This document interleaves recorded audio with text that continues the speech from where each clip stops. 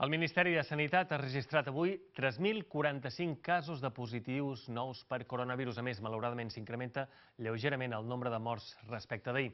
Avui en són 567 víctimes, mentre que ahir se'n van enregistrar 517. El còmput de casos positius per coronavirus es continua incrementant, tot i que la part positiva és que la tendència es manté en el 2%. En total, d'ençà que va començar la crisi, són 172.541 els casos positius de Covid-19. Unes 67.500 persones se n'han curat i ja han superat la malaltia.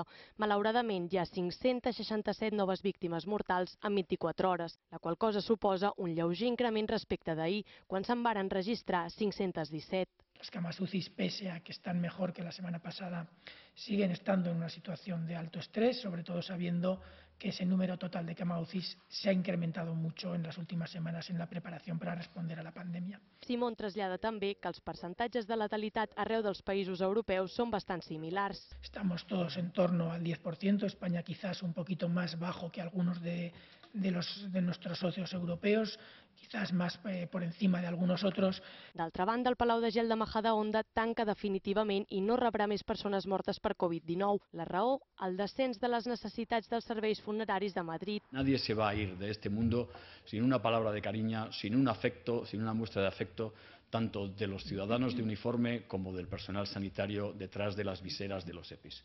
Avui tornaven a la feina els treballadors no essencials de la resta de comunitats autònomes on ahir era festiu i les estacions presentaven avui matí aquesta imatge. A l'estació de Sants, els Mossos d'Esquadra verificaven els certificats autorresponsables per anar a treballar.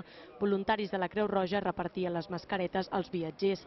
També controls a les vies per garantir la distància de seguretat entre la gent.